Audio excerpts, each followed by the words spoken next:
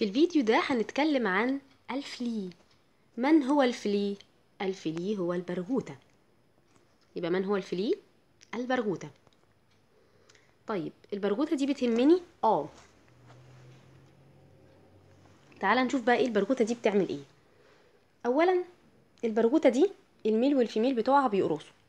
يبقى ال male بياكل دم وال female بتاكل دم مش ال female بس هي اللي شريرة. طيب البرغوثة دي بتعمل إيه؟ البرغوثة دي بتيجي بالليل تقرصني وبعد كده تمشي. يعني البرغوثة مش بتفضل قاعدة على جسمي ما هياش زي القمل مثلا. يبقى البرغوثة دي بتقرص وتمشي تقرص وتمشي. فده بسميها temporary. واتفقنا ان أنا ال parasite اللي بيبقى قاعد على جسمي بسميه ectoparasite يبقى البرغوثة هعتبرها temporary ectoparasite طيب تاني حاجة البرغوثة دي بتقرص البني آدم. هي بتحب دم البني آدم تمام؟ كل برغوثة بتحب دم كائن معين فعندي برغوثة بتحب الفار وفي برغوثة بتاعة القطة وفي البرغوثة بتاعة الكلب. البراغيث دي كل واحد بيبقى متخصص في ال host بتاعه كل واحد بيبقى host specific بس هي لو جعانة وما لقيتش قدامها كلب ولا قطة ولا فار هتيجي تقرص البني آدم عادي تمام؟ يبقى بتبقى host specific بس ممكن برضو إن هي إيه؟ تأذيني. طيب بعد بقى ما البرغوثة دي بتمص الدم ال female بتحط البيض بتاعها. البيض بتاعها بتحب تحطه فين؟ على السجاجيد وتحت السجادة. خلاص بتحطه تحت السجادة. طيب البيض بتاعها ده بينزل تحت السجادة ويفضل قاعد شوية وبعد كده يفقس فيطلع حاجة اسمها larva فال larva بعد شوية تتحور وتدي حاجة اسمها pupa ال pupa بتاعة ال flea ساعات بتبقى ملزقة بحاجة كده زي الحرير حواليها فبيسموها cocoon. الاسم ده مكتوب عندك في الكتاب بس مش مهم خالص وما تعرفوش عادي. طيب وبعد كده البيوباية دي أو الشرنقة دي هيتكون جواها البرغوثة وبعد كده البرغوثة إيه؟ هتطلع تبقى adult برغوثة ودي قصة حياتها نفس القصة اللي إحنا بنقولها إن أنا عندي الحكاية اللي اسمها egg و larva و pupa و pupa مختلفة عن ال adult بنسميها complete metamorphosis يبقى هو بيعمل برضو complete metamorphosis طيب يبقى دي قصة حياة مين؟ البرغوثة. بتمص دمي male و female بيمصوا دمي وممكن تمص دم الكائنات الأخرى. نعرف إيه تاني عنها؟ نعرف إن البرغوثة بتزيد في فصل الخريف وفصل الربيع. بتحب إيه ال seasons اللي الجو فيها حلو دي؟ ونعرف إن البرغوثة دي بتعيش لمدة سنة. ال life span بتاعها سنة وبعد كده بتموت. يبقى ده تعريف عام عن مين؟ عن البرغوثة. ما هي أهمية البرغوثة؟ أهمية البرغوثة أربع كلمات. أربع كلمات هتحفظهم. أول حاجة بتنقل أخطر حاجة في الدنيا اسمها ال plague الطاعون. يبقى بتنقل مرض الطاعون. تاني حاجة بتنقل rickettsial disease rickettsia دي نوع من البكتيريا بتعيش جوه ال cells بتعمل disease اسمه endemic typhus endemic أو murine typhus يبقى رقم واحد ال plague رقم اتنين endemic typhus رقم ثلاثة هي بتعتبر intermediate host لبعض ال parasites وتحديدا لبعض ال cestodes أو الديدان الشريطية. وآخر حاجة بتعملها في نوع معين من البرغوثة بيعمل disease اسمه chigger disease أو jigger disease يبقى أنا عندي أربع كلمات هحفظهم وأصمهم. plague endemic typhus إن هي intermediate host لبعض ال helminths إن هي بتعمل حاجة اسمها chiggers disease ناخدهم بقى واحد واحد كده علشان لازم نعرف تفاصيلهم. أول حاجة ال plague أو مرض الطاعون بيتنقل إزاي؟ دي برغوثه مفيش في حاجة في دمها. خلاص البرغوثه دي نظيفة ومش infected قرصت بني آدم عنده طاعون. خدت من دمه البكتيريا بتاعه مرض الطاعون اللي اسمها Yersinia pestis أخدت منه Yersinia pestis bacilli نوع البكتيريا دي bacilli مش أنتوا خدتوا في المايكرو. البكتيريا عندي نوعين bacilli يعني شرط و cocci يعني دواير. فنوع ال Yersinia pestis دي شرط. طيب خدت البكتيريا اللي اسمها Yersinia pestis وبعد كده دخلت جوه ال stomach بتاعه البرغوثة وابتدت تتكاثر تتكاثر تتكاثر تتكاثر. بعد ما تكاثرت جوه ال stomach بتاعه البرغوثة البرغوثة بقت إيه؟ بقت blocked أو ال stomach بتاعتها بقت مقفولة. فهي حاسة إن هي عايزة ترجع. وفي نفس الوقت هي جعانة. ليه؟ ما هو الأكل ما وصلش وما بقتش بتتغذى. يبقى البرغوثه دي بقت عيانة. طيب فهتعمل إيه بقى؟ هتروح عايزة تاكل. ما هي جعانة دلوقتي مع إن المعدة بتاعتها مقفولة بالبكتيريا الكتير فهتروح على بني آدم تمص دمه. أول ما تبتدي تاكل تاكل تاكل ومعدتها مقفولة تروح مرجعة. تروح مرجعة في القطع اللي هي عملته في جلد العيان ده الإيه؟ البكتيريا. خلاص فتروح مرجعة ال bacilli دي at site of bite.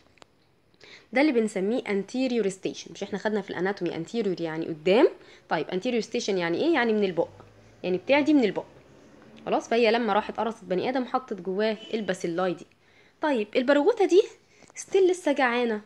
و still البكتيريا عمالة تتكاثر جوه ال stomach بتاعتها وال stomach بتاعتها مقفولة. فالبرغوثة العيانة دي يا حبيبتي خلاص إيه؟ جعانة ومش عارفة تاكل. فهتعمل إيه؟ هتبقى زي المجنونة. هتتنقل ما بين الناس تفضل تنقل المرض تنقل المرض. هتروح تقرص ده تحاول تاكل. ما تاكلش وتروح مرجعه في دمه البكتيريا. تقرص اللي جنبه ما تاكلش وتروح مرجعه في دمه البكتيريا. تقرص اللي جنبه وتروح مرجعه البكتيريا. خلاص يبقى ده برضو ال blocked flea ده أحد ال factors اللي بتساعد على انتشار المرض. يبقى ال plague بيتنقل إزاي؟ اتفقنا إن البكتيريا دي بتتكاثر جوه ال stomach بتاعة البرغوثة وبعد كده إن البرغوثة لما بتروح تقرص بني آدم سليم في محاولة منها إن هي تاكل ما بتعرفش تاكل فتروح مرجعة في الجرح إيه البكتيريا دي جوه دمه وبعد كده لما ما بتعرفش تاكل بتبتدي تتنقل ما بين الناس تنقل المرض في محاولة منها إن هي تعرف تاكل. ده اللي بنسميه anterior station يعني من قدام أو من البق عن طريق القرصة. ده نقل مرض الطاعون أو ال plague طيب مرض ال endemic typhus أو ال murine typhus ال typhus ده بتنقله بكتيريا نوع من البكتيريا اسمها Rickettsia دي مجموعة خاصة من البكتيريا Rickettsia diseases دي. أحدهم بكتيريا اسمها Rickettsia typhi أو Rickettsia mooseri بتعمل ال endemic أو ال murine typhus كلمة murine جاية من فران. خلاص جاية من من من الفران. ليه بتنقلها؟ برغوثة الفران وهي أصلا بتاعة الفران. بس ممكن تجيبها لي وممكن تعديني بيها. ال typhus ده مرض عبارة عن إيه؟ شوية rash و fever طيب. ده بقى بيتنقل بطريقة مختلفة عن ال plague. البرغوثة دي لما قرصت بني آدم جوه دمه في ال Rickettsia بتاعت ال endemic typhus أخدت من دمه إيه؟ ال Rickettsia mooseri أو Rickettsia typhi اللي بتعمل endemic typhus طيب فالبكتيريا دلوقتي أو ال Rickettsia دي بقت موجودة جوه ال gut ال mid gut أو الإيه؟ ال- آه، الأمعاء بتاعت البرغوثة. mid gut يعني الحتة الوسطانية. هو امعاء البرغوثة بنقسمها لحتة قدامانية fore gut حتة وسطانية mid gut حتة أخرانية hind gut. فالحتة الوسطانية ال mid gut. راحت بقى ال Rickettsia دي جوه ال- mid gut دي وراحت دخلت جوه ال epithelial cells. خلاص جوه ال mucosa ال lining بتاعه الايه ال epithelial cells بتاعه ال mid gut بتاعه ال flea قعدت جوه وابتدت تتكاثر تتكاثر تتكاثر لحد ما عددهم بقى كتير جوه ال cell. فال cell فرقعت وراحت مطلعة. إيه مطلعة. ال Rickettsia دي جوه ال lumen بتاع الامعاء بتاعه البرغوثة. فالامعاء بتاعه البرغوثة دلوقتي بقى فيها ال Rickettsia. فال Rickettsia بتبقى نازلة فين؟ في ال stool بتاع البرغوثة. بتبقى نازلة مع ال stool بتاع البرغوثة. طيب يبقى أنا دلوقتي موجودة فين؟ موجودة في ال stool. هنزل فين؟ هنزل من ورا. يبقى هسميها posterior station. posterior station. طيب هتعدي أنا إزاي بقى بالحاجات اللي نازلة في ال stool دي؟ عن طريق ثلاث طرق. ثلاث طرق أنا لازم دلوقتي أدخلها في الدم. أول حاجة البرغوثه جت قرصتني وبعد ما قرصتني راحت عملت stool على جلدي. وبعد ما قرصتني فأنا حاسة بهرش رحت هرشت فدخلت ال stool جوه الجرح اللي هي عملته في ال skin. يبقى أول حاجة contamination of skin by إيه by feces بتاعة ال flea بس لازم ال skin ده ما يبقاش سليم. خلاص يبقى حصل scratching وأنا دخلت ال organism جوه جوه جلدي جوه إيه؟ جوه القطع اللي هي عملته فيه. تاني حاجة اهي. تاني حاجة البرغوثه دي جت قعدت تمص دمي فأنا رحت موتها على جلدي. جبت مضرب الدبان وضربت البرغوثه دي على جلدي. عملت crushing لل flea. فعملت crushing لل flea فأنا عورت نفسي وفي نفس الوقت خلاص أنا فرقعت البرغوثه وكل الدم وكل ال stool اللي جواها طلع. فبقى contaminating إيه؟ contaminating جلدي فهتدخل منه. تالت طريقة إن ممكن البرغوثة دي تعمل ال stool بتاعها عادي في أي حتة في الشقوق في حتة على جنب كده. طيب وبتفضل بقى ال stool ده عايشة فيه ال Rickettsia لمدة 40 يوم. ففي خلال ال 40 يوم دول وال Rickettsia عايشة لو أنا جيت استنشقت هوا خلاص اتاخدت بقى ال Rickettsia دي مع الهوا وأنا جيت شمتهم كده وأنا بتنفس عن طريق ال inhalation يبقى ممكن ساعتها إيه؟ تجيلي المرض. تمام؟ يبقى ال endemic أو ال murine typhus بتعمله نوع من ال Rickettsia اسمها Rickettsia typhi ال Rickettsia typhi دي بتتكاثر فين؟ جوه ال cells بتاعة ال epithelium اللي lining ال gut وبعد ما تتكاثر تفرقع ال cells دي فتطلع ال Rickettsia جوه الأمعاء وتنزل مع ال stool. ده بسميه posterior station. بتجيلي العدوى عن طريق ثلاث حاجات يا إما وهي بتقرصني أنا أهرش فدخل ال stool ده جوه الجلد يا إما وهي بتقرصني أنا أتضايق منها فأروح ضرباها. بمضرب الدبان فأعمل crushing ليها فكل الحاجات اللي جوه جسمها تطلع أساسا وتفرقع وتبقى contaminating جلدي فتدخل جوه جلدي. يا إما إن هي تفضل عايشة هي بتفضل عايشة 40 يوم بره بره جسم البرغوثة و alive يعني. وأنا لو شميتها أو استنشقتها في خلال ال 40 يوم دول ممكن إيه؟ يجيلي ال infection يبقى ده طريقة نقل ال endemic أو ال murine typhus آخر حاجة الحاجة اللي اسمها chiggers disease أو jiggers disease ال disease ده مهم قوي مهم قوي قوي قوي ليه؟ علشان ما عندكش في ال arthropod اللي انت هتاخدها دي كلها حاجة clinically شوية إلا دي. فلو حب يجيب لك case مش هيجيب إلا دي. طيب إيه دي بقى؟ دي نوع من البرغوثة ليها اسم معين اسمها Tunga penetrans يبقى ال flea ده اسم العيلة عامة ده اسم عام البرغوثة. إحنا عندنا أسامي كتير للبراغيث. في برغوثة معينة منهم اسمها Tunga penetrans Tunga penetrans ال Tunga penetrans دي بتبقى عايشة فين؟ بتبقى عايشة في الأماكن ال tropical areas يعني إيه tropical الأماكن الحارة اللي على خط الاستواء اللي موجودة في أمريكا الجنوبية موجودة في أفريقيا وأهم حتة فين؟ في الشرق الأقصى في ال Far East والهند والأماكن دي. طيب في الأماكن دي بقى في الهند بيمشوا حافيين. الناس ساعات في القرى الفقيرة بتمشي حافية. فإيه اللي بيحصل؟ ال male وال female Tunga penetrans بيتجوزوا. ال female بعد ما بتحمل بتبقى محتاجة إن هي إيه تمص دم بس مش كمية قليلة كمية كتيرة. بتبقى محتاجة إن هي تدخل تعيش جوه tissue. فتنقي البني آدم اللي عمال يتمشى حافي ده وتروح خارمة جلده ما بين صوابع الرجلين أو ما بين أو في ال sole بتاع ال foot. خلاص يبقى لازم إيه في الحتة اللي هي متعرضة ليها. هي قاعدة على الطينة ومستنية البني آدم معدي. البني آدم معدي راحت خارمه رجليه وداخلة. طيب ال female دي بقى تبتدي تاكل دم تاكل دم تاكل دم تاكل دم وال eggs كمان عمالة تكتر جوه جوه ال uterus بتاعها أو جوه بطنها فبتكبر وتتنفخ وتبقى مش بدل برغوثه رفيعة بقت برغوثه تخينة والبرغوثه التخينة دي عاملة swelling حواليها. طيب وعاملة swelling بقى تحت الجلد وفي نفس الوقت بتفتح فيه فتحة. تفتح فتحة ليه؟ علشان تنزل عيالها البيض عايزة تبيض ال eggs بتاعتها علشان إيه؟ يكملوا life cycle فبتروح فاتحة فتحه في الجلد ومنزلة عيالها. عيالها محتاجين إن هم يكملوا ال development بتاعهم فين؟ في ال soil فتروح منزلاهم في الطينة. يبقى ده راجل بيتمشى في الطينة غالبا في منطقة ريف أو منطقة فيها زرع أو فيها طينة وبيمشوا فيها حافيين. دخلت البرغوثه جوه الرجلين بتاعته فضلت قاعدة لحد ما اتكونت جواها ال eggs. بعد كده ابتدت ترمي ال eggs دي فين؟ في الطينة تاني.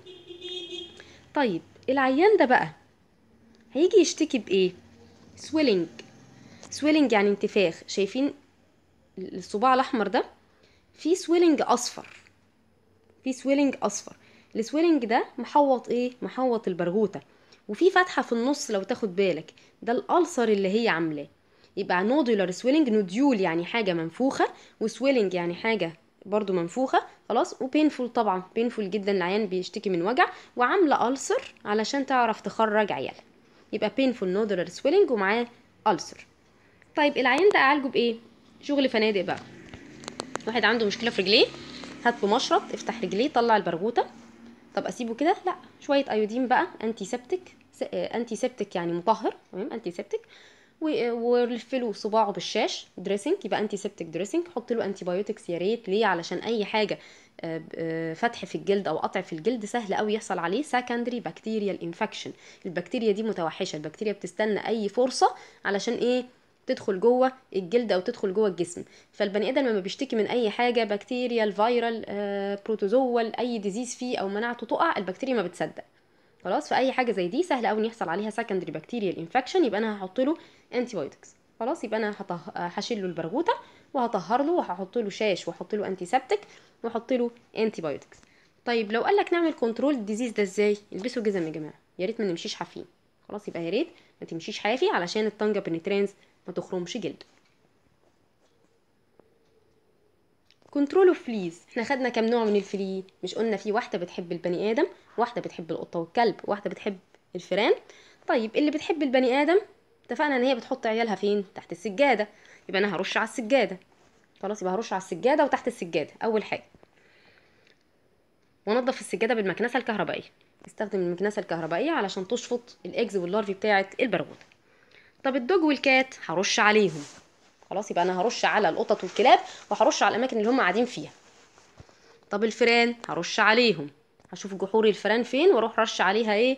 مبيد للبراغيث طب ما موتهم أحسن. يا ريت والله نخلص كمان من الفئران يبقى أنا بستخدم إيه؟ بدل ما أستخدم insecticide أستخدم rodenticide rodenticide ده حاجة بتموت الفئران زي عندك في الكتاب حاجة اسمها warfarin إيه ال warfarin ده؟ هتاخده في ال pharma بعد كده. الدواء ده بيعمل hemolysis بيخلي الدم ما يتجلطش. تمام؟ فهو حتى الدواء ده. آه، إحنا بنستخدمه لينا إحنا كبني آدمين ك anticoagulant ممكن استخدمه بقى مع الفئران فيخلي الدم بتاعهم ما يتجلطش فينزفوا من كل حتة ويموتوا.